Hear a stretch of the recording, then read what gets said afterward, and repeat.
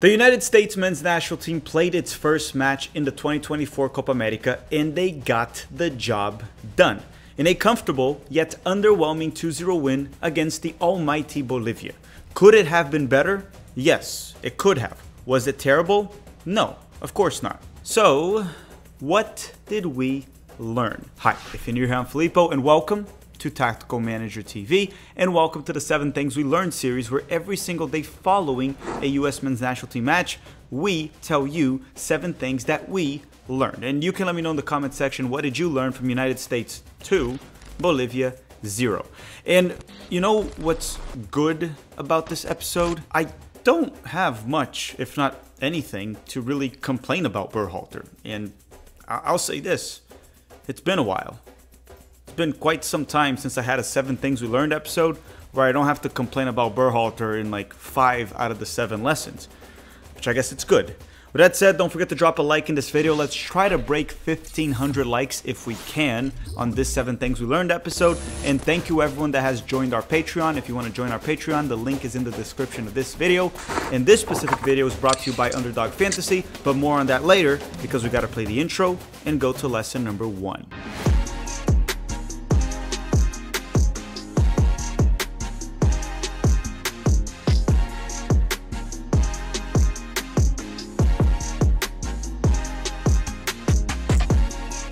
Lesson number one is that Streaky Pulisic is currently in good form. And we've seen that and we've known that throughout the past few years that Pulisic's a very streaky player. He goes through stretches of like five to six games where he just completely balls out. Man at the match performances, plays very well, has tremendous games.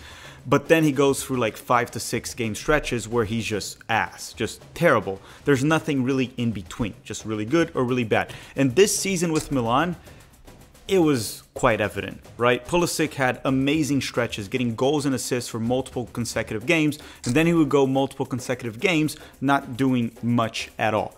And right now, right now, Christian Pulisic seems to be in good form. He was really good and he scored against Brazil, and then he was really good and he scored and got an assist against Bolivia.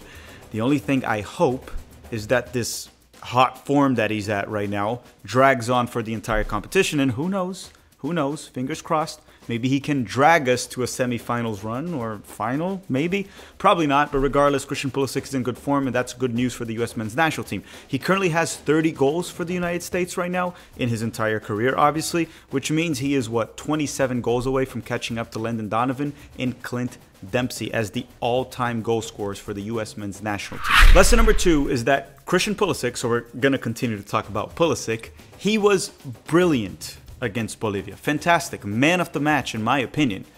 However, holy crap. He has to stop taking set pieces. It was abysmal. And I know he scored against Brazil with that set piece that I think it was just poor goalkeeping from Alisson, But Pulisic's deliveries have been bad for quite some time. His direct free kicks are usually not good. He needs to stop taking set pieces.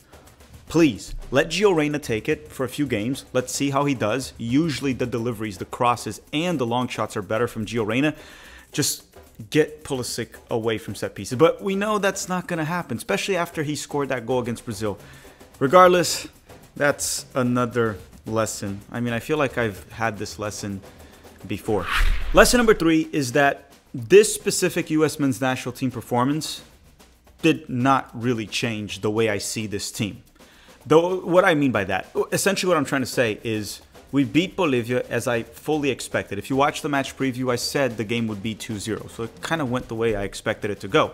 But watching the way we played, I am still overly concerned about our matches against Uruguay, Colombia, and or Brazil. Understand that we had a lot of bad giveaways against Bolivia. They just didn't have the quality to punish us. But against a better team, like we were against Colombia, they will score many goals. We will get punished by these bad giveaways and these mistakes that we made throughout the match. Bolivia, Bolivia just sucks, sucks man. And, I, I hate to say it, I don't like disrespecting opponents, but, but this Bolivian side is not good. They're in a 11 game losing streak in the Copa America. Seriously, in the past three editions, when you add this one, 11 game losing streak. Also, in the past 30 games that they have played in the Copa America, the last nine editions, they have won one game. They're not good, and the current generation that they have is even worse than the previous ones, unless they play at home. And I know many of you are going to say, we were wasteful, we missed a lot of chances. We did in the final 20 minutes. Before that, I would argue that we didn't actually create that many goal scoring opportunities. And it was more towards the end when Bolivia sort of quit. Uh, I know they're bad, but they did kind of quit in the last like 20, 15 minutes. And Ricardo Pepi, him specifically, was very wasteful. He probably could have had a goal or two. Individual talent got us the win. A brilliant moment from Christian Pulisic and a brilliant moment from Balogun but I'm just still not convinced that we can pull a big upset. I hope I'm wrong. I hope our national team grows into the tournament, but I just want to make that clear that despite the, the comfortable win, I haven't changed the way I see this US men's national team currently. Okay, now before we continue, please drop a like in the video if you haven't already, and a quick word from our sponsor, Underdog Fantasy. The link to play is in the description, and I will be posting my picks on X and Instagram, so you can follow us there if you want to. And we'll be back in one minute for lesson number four. Underdog Fantasy is a fun game to play prior to any soccer match or basketball, football as well. You know, it just adds an extra excitement to the game. In this summer, I will be playing Underdog Fantasy during the Copa America and Euros. You can download the app by using the link in the description of this video and use the promo code TMTV. Yes, please, don't forget to use the code. And let me tell you why. Sign up with the code TMTV to claim your special pick plus a first time deposit offer up to $250 in bonus cash. The game I mainly play is called Pick'em. I just Click on it, scroll to the soccer section, and pick a player for the specific match and select the stats that I believe will be lower or higher. It's very easy to play, but be smart about it because it's not that easy to win. I'll also be playing some underdog fantasy during some match live streams during the Copa America and Olympics, posting my picks on X and Instagram, so you must stay tuned for that as well. And once again, I'm a professional hater, so usually I pick anything that will have me rooting for the downfall of that player.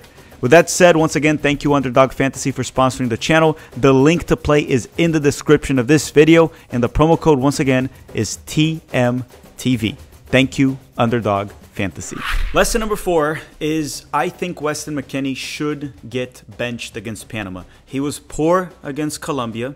And then against Brazil, where pretty much every single player from the U.S. men's national team bounced back, Weston McKennie didn't bounce back. He didn't play well. And against Bolivia, he didn't play well once again. He looks like he's a little bit overweight, which has been an issue with Weston McKennie throughout his career for quite some time. Multiple players and coaches have talked about it, including one that I can remember is Italian legend Chiellini that played with him at Juventus it just he's just not looking good. He's looking slow, heavy, sluggish, not playing well. He has a few moments because he's very talented. He's one of our best players, and when in good shape, Weston McKennie is one of the best American soccer players of all time, actually. But right now, I think it's time to bench him. Just start Yunus Musah in his position, his role.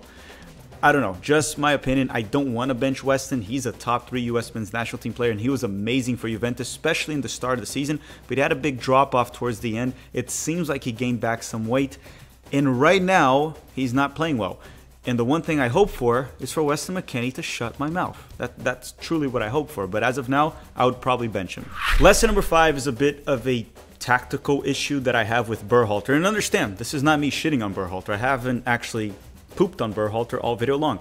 But I would like to see Gio Reyna playing higher up the field. He is playing central, which is better than when Berhalter used to play him out wide as a right winger. However, I want to see Gio high up the field, playing as a 10 or as an 8, an attacking playmaking 8 rather than a deep line playmaker. He's playing super deep. Sometimes he was even deeper than Tyler Adams in possession. Gio Reyna is a creative player and a goal scoring threat. Having him far away from the goal will take away assists and goals from the US men's national team. So once again, play Gio as a 10. Essentially, what I'm saying is if you rewatch the game, McKennie was playing as an 8 and so was Gio. But McKennie was pushing high up the field in possession, and Gio was dropping deep, deeper than Tyler Adams that played as a 6. I think they should reverse that role. Whether it's McKennie or Musah that play there, it doesn't really matter, or not play, plays there, it doesn't really matter. Gio and McKennie should reverse those roles. And Gio can play high up the field, and McKennie can drop deeper to help, or Yunus Musah in the build out. I don't care. But push Gio high up the field. We'll create more shots and have a goal scoring threat up top. Lesson number six is I like how the US men's national team started this game. Now understand that we didn't really have a good game in my opinion. From minutes like 15 till 75 the US was kind of poor and the only reason we weren't punished was because Bolivia doesn't have the quality to do so. But we started this game off in the first 10 minutes with a lot of intensity in pressing Bolivia and being goal dangerous. And this is what I want to say because we usually start slow and we get punched in the face early.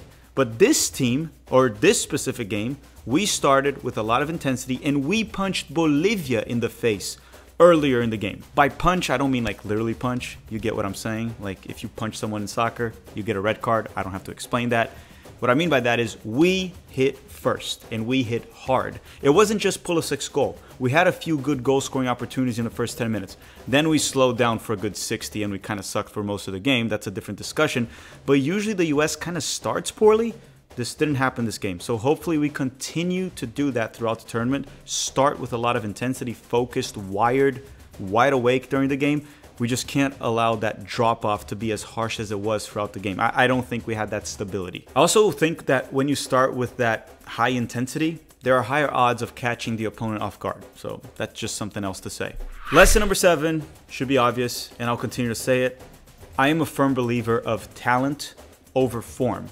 When the talent gap is reasonable, though. Obviously, if the talent gap is tiny, then you kind of go with the player that's hot, the player that's in form. But generally speaking, when the talent gap is big, it's far more important than form. And I'm talking about Balogun specifically. He was not having a great performance, and he had a terrible season for Monaco.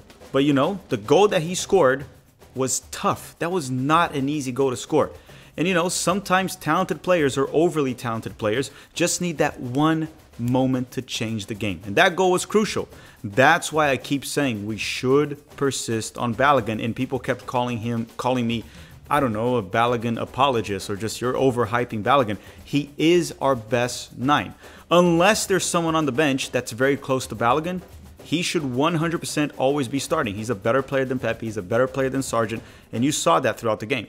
By throughout the game, I mean in that one specific moment because he wasn't playing well but because he's so talented, sometimes all it takes is one moment. And, and that's why Balogun hasn't been great for the US men's national team, but he's been fairly productive, getting assists, getting goals, mainly because of how talented he is. So persist on Balogun. And then you may be wondering, hey, you said to bench McKennie. If it's based off talent and not form, why would we bench McKennie? And you don't want to bench Balogun, for example, right? You're saying it's because of talent.